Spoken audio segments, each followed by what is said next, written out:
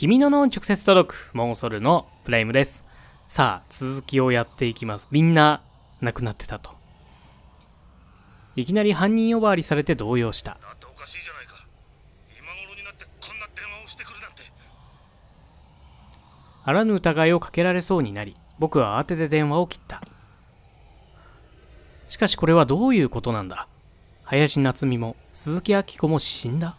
しかも鈴木明子は殺され、犯人も見つかっていないような口ぶりだった。こうなると、電話のつながらなかった二人も。あり得るね。僕はもう一度名簿を眺めてみた。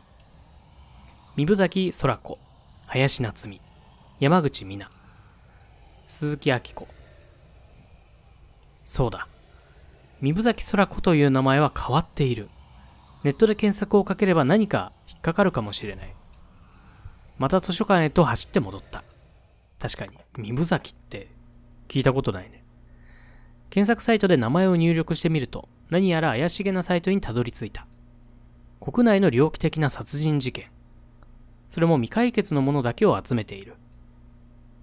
三部崎空子の名前は連続美女小殺事件というページにあった。僕は思わず声を漏らしそうになった。そのページに載っていたのは三部崎空子の名前だけではなかった。4人 ?2006 年9月早朝、T 氏の使われていない地下駐車場でぼや騒ぎがあったらしい。サイトによると、火元になったのは大型犬用の、大型犬用のケージで、ケージだった。消防隊が鎮火した後、現場検証で発見されたのは、ケージの中で、獅子を針金で縛られた焼死体。肺に煙を吸い込んでいたことから、檻の中でガソリンをかけられ、生きたまま焼かれたようだと、うわぁ。うわぁ。さらに、なぜか被害者の右手の小指が切断されていた。焼けきれずに残った指輪から、警察はすぐに身元を割り出した。被害者は都内の貿易会社で働く、三部崎空子21歳だった若。彼女は殺される10日前、会社帰りに消息を絶ち、家族から捜索願いが出されていた。彼女の事件から1週間後のことだ。T 氏の紡績工場跡で、廃浴を撮影に行っていたカメラマンが若い女性の焼死体に出くわした。やはりケージの中で獅子を針金で縛られていた。被害者は山口美奈25歳。職業はデザイン会社に勤めるイラストレーターで、1ヶ月前に友人と飲みに行った帰りから行方不明となっていたようだ。彼女は右手の中指を切断されていた。小指中指。それからまた1週間が経った時のことだ。経験の山中で、ハイキング道からはぐれた登山客がケージに入った焼死体を見つけた。被害者はフリーターの林夏美、かっこ19歳。そして彼女は右手の親指を切断されていた。これで人差し指と薬指が残ってんのは。そしてさらに3日後、T 市郊外の改装中のシティホテルが半焼した。客はいなかったはずのホテルの一室で、ケージに入った焼死体があった。被害者は、著述業の鈴木明子、過去27歳。やはり彼女は人差し指を切断されていた。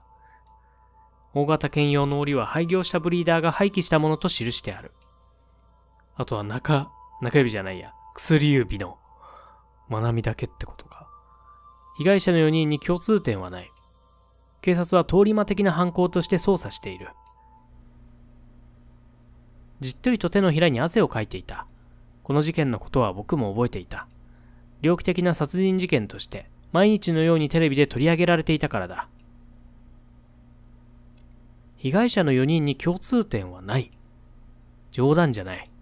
警察は何を捜査していたのだ本当だよね。被害者の4人は奇跡の娘たちの会に一緒に参加していた。仕事も年齢もバラバラだが、被害者たちは一本の線で繋がっているのだ。待てよ。どうしてまなみは無事なんだ？はっきりとした不安が頭に浮かんでくる。A、まなみが危ない。B、京介が関係している。C、二人には僕の知らない 何かがある。ちょっとあれだね。遠くから見てる感じだね、C は。まあ、まなみが危ないよね、普通に。まなみとまなみの薬指が危ないよね。彼女たちとまなみの違いは何だ？で、あとあれだよね。最近まなみがさ、もう少しなのって言ってるのがなんかもうそれなんじゃないかって思っちゃうわ。写真に写っていた5人のうち4人が惨殺されている。最後の殺人が起きてからすでに1年近くが経っているものの、もう殺人は起きないと言い切れるだろうか。もしかしたら、まなみはこれから狙われるのかもしれない。僕はモニターに映ったテキストを何度も目で追った。失踪、行方不明、連続美女衝殺事件、大型兼用の刑事、生きたまま焼かれる。不吉な文章ばかりが大きく浮かび上がる。不安だった。何もかもが。ふーん。まあ、それと、アミとまたね、つながりが。僕がアパートに戻ってくると、ドアの前でまなみが立っていた。どうしたの？んどうしたの？突然のまなみの訪問に驚いた。部室でなんか様子がおかしかったからそんなことのためにわざわざ？僕が聞くと、彼女は小さくうなずいた。来たこと自体は一周目と変わんないけど、あ、ほらやっぱ図書館で調べた事件のことが頭に思い浮かぶ。聞いてみた方がいいのだろうか。何か悩みがあるなら言ってね聞いてみようよ。今一番の悩みは、あの写真と事件のことだが、突然そんな話をされたら面食らうに違いない。それじゃあ私行くねまなみは話を切り上げようとした。結局僕は何も言い出せなかった。ええこれで終わりか。少し落ち込みつつ、僕は部屋に入った。電気をつけようとした時、部屋の中が焦げ臭いのに気づいた。何か燃えてるのかわあ、やだ、もう。やだここら辺はね、もう見たんで。やだでも何回見てもやだ、これ。何回見てもやだ。変な音が聞こえてくる。わあ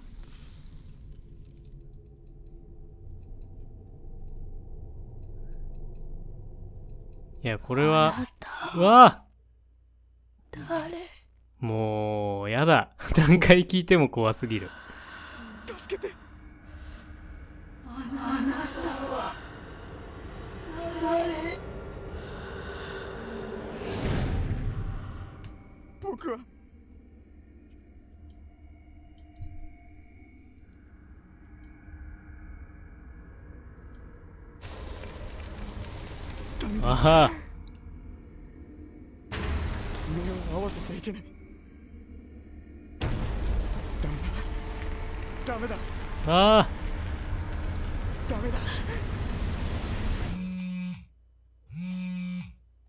ふう。公衆電話もしもしから電話。返事がない。だ？荒い息がかすかに聞こえるだけ。誰なんだ？どうして？お、お前か。怯えている京介いい子にしてないと死よりも恐ろしい目に遭うぞそれだけ言うと、一方的に電話が切れた。なんか、京介ちょっと心配してくれてた感じだったね。どうしたって。そんな怯えた 声でみたいなこと言ってたけど。ふと部屋の中を見ると、腕と頭は消えていた。僕は恐る恐る部屋の中へと入っていった。うっすら黒い焦げ跡が残っていた。ここら辺は一緒ですね。幻覚じゃない、現実だったと。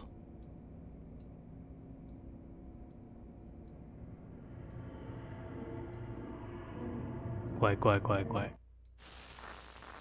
おザ・ラストデイ。もう最終日が早いな。まあ、飛ばし飛ばしやってるからだけど。慎吾を除いたメンバーが揃ってた。昨日見たことを話すべきだろうかやめておこう。どうしたの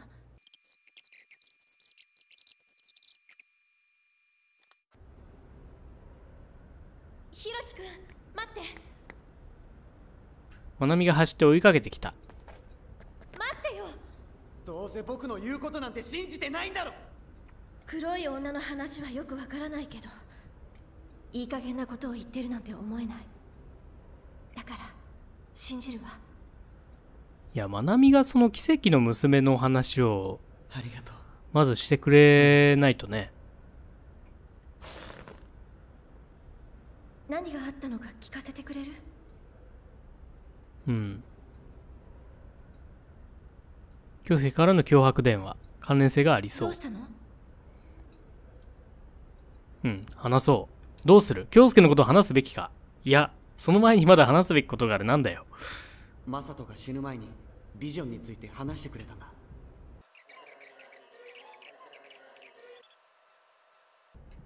お、それは京介からの脅迫についてだ。もつれた糸のような出来事を解く鍵は、もしかしたら京介にあるのかもしれない。僕は、まなみと京介について話しておきたいと思った。お来いや。まあ、前回いろんな謎が残って終わったからね。人が誰もいないことを確認してから、僕はまなみの手を引いて講義室に入った。二人並んで椅子に腰を下ろす。僕はうつむいたまま言った。京介の家に行ったんだえ？どうして？お？まなみの表情が曇る。さっきとは打って変わって責めるような口調だった。そうだね。しかし今はもうそんな説理由を説明している場合ではない。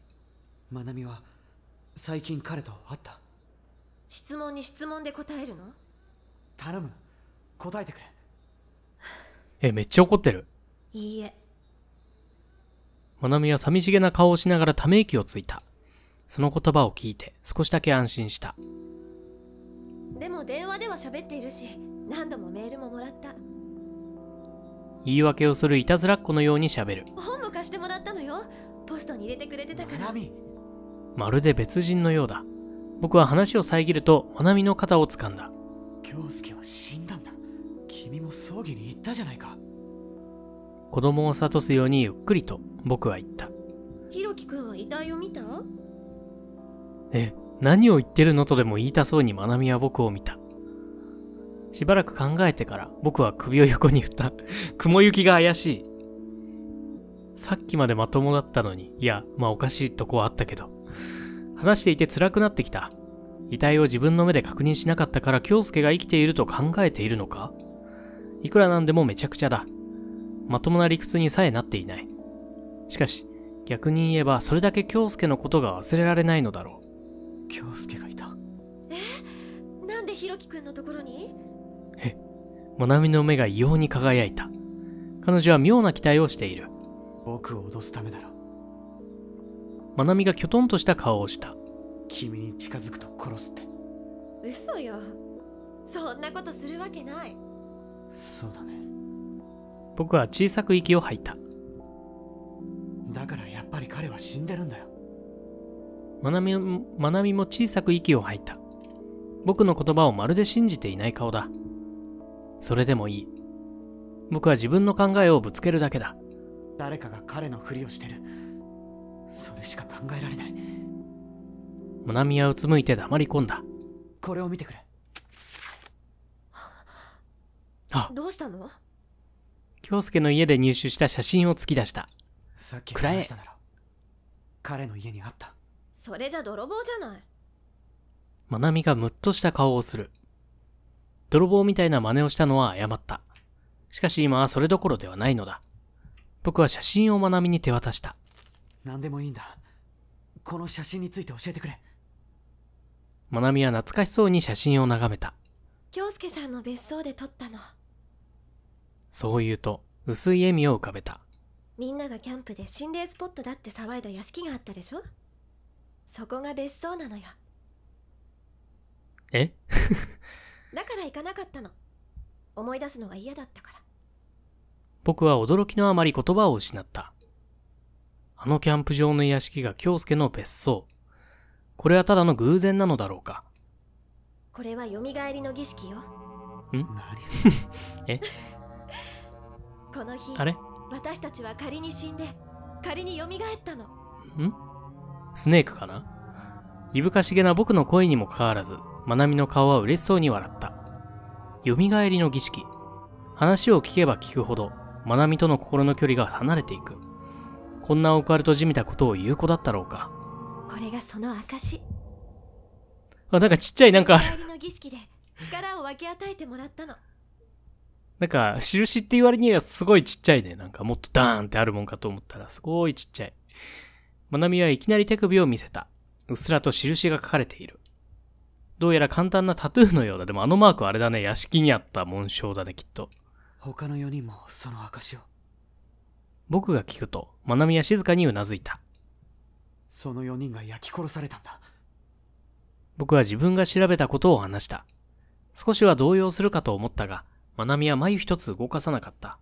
だから平然とした様子で答えた。マナミも襲われるかもしれないんだぞだって最後の事件って1年も前でしょ？まなみはあっさりしたものだ。5人のうちの4人が死んでいるというのに、微塵も恐怖を覚えていないようだ。おかしい。ダメだこりゃ。まなみは何を言っても信じない。僕は京介に対して嫉妬を通り越して恐怖を覚えた。な、ん恐怖じゃないな。異教？んどうすればまなみを京介の呪縛から解放できるのだろう？焦りばかりが募る。A、まなみのことが心配なんだ。B、もし京介が事件に関係していたら。C、じゃあまあ大丈夫なのかもね。そんなことある。どうすればまなみを京介の呪縛から解放できるのか？まあ心配なんだ。もし京介が事件に関係していたらこれかな。もし京介が事件に関係していたら B。まなみは何を言われているかわからないといった様子だった。どうしてわからないのだろう。京介の屋敷に集まったという接点しかない人間が4人も死んだのに。例えば京介も犯行に関わっているとかどうしてそんなこと言うの？可能性の話だよだからまだマナミだって危ないかもしれないそうやって考えを押し付けようとするなんて最低ああ、きっぱりと非難されて少なからずショックを受けた。さっきまで穏やかだった態度の表現ぶりにも驚く。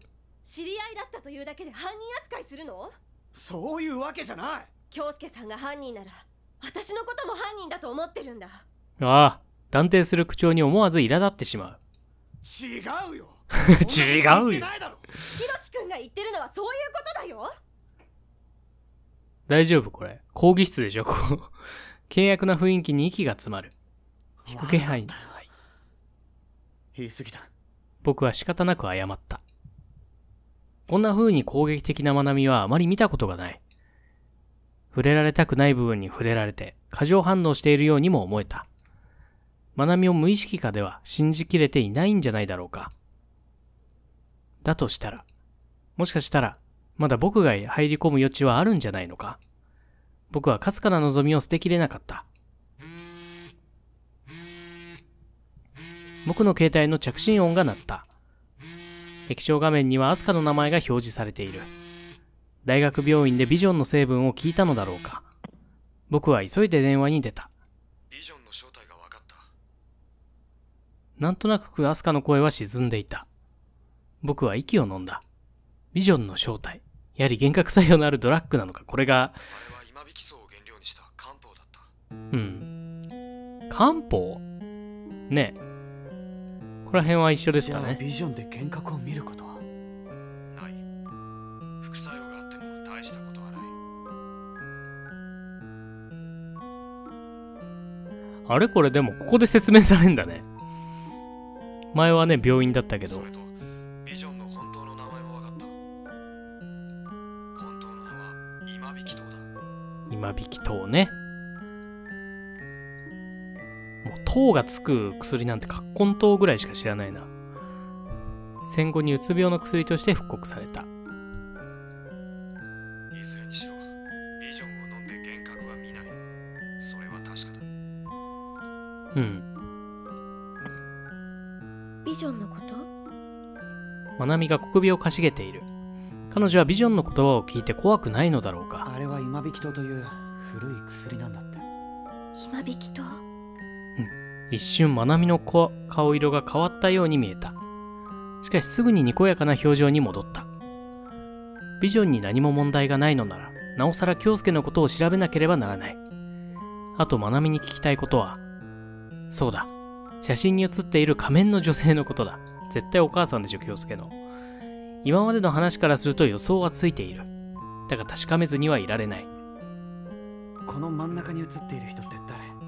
京介さんのお母様よ やっぱそうだよね。詳しく教えてくれないか？めちゃめちゃ趣味悪いよね、この仮面。どうやって作ったの、これ？あれだね、なんか、バットマンの、キャット、ん？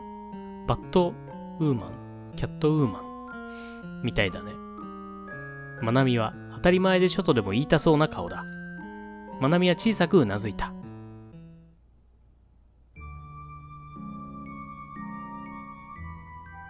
京介の母親である京子は、高度経済成長の影響で過疎化した岡山の田舎で生まれた。すごい過去に戻った。小学2年生の時に雷に打たれ、それから幻覚に悩まされるようになった。あら、かわいそうに。心配した両親は高名な霊能力者に相談する。すると霊能者曰く、京子の見ているのは死者である。死者たちの声は積極的に聞いてやること。とのことだった。霊能力者からの助言によって、京子は死者と聖者の橋渡しが自分の使命と思い立った。それから死者たちとの会話、いわゆる口寄せで様々な人の相談に乗るようになる。いた子っていうのかな。京子は18歳の時に相談者の一人だった大学生の間宮慎介と駆け落ちする。二人は東京で正式に籍を入れ、京子が19歳の時に京介が誕生した。しばらくは幸せな家庭が続いたが、9年後に慎介は病に倒れ、若くしてその生涯を終える。京子は水商売で生計を立て、苦労して京介を育てる。たまたまホステス仲間に霊が見えるという話をしたところ、いろいろな相談が舞い込むようになった。いつしか、その相談でもらう報酬の方が多くなり、なりわいとなる。京介が大学に進む頃、奇跡の娘たちの会を立ち上げる。この会の目的は、不老長寿を追求することにあった。若さを保ち長寿を得る。興味を持って集まってくる女性は多かった。まなみから京子の話を聞いていて気になったことがあった。しつこいほど京子のことを立派な人だと褒めるのだが、どうも気持ちがこもっていないような感じがした。確かに。なぜならここまでの話は全て京介から聞いた話であり、まなみは京子の顔も見たことがないというのだ。確かに仮面かぶってるしね。たった一度だけ直接会った時には、京子はずっと仮面をかぶったままだったらしい。そこまで話すと、まなみは時計をちらりと見た。はい。というわけで、一旦ここで切りたいと思います。なるほど。余計に、でも、アミとはまた別だもんな。ね。多分、まあ、繋がってくるのかな。はい。ということで、また次回お会いしましょう。プライムが喋ってました。バイバイ。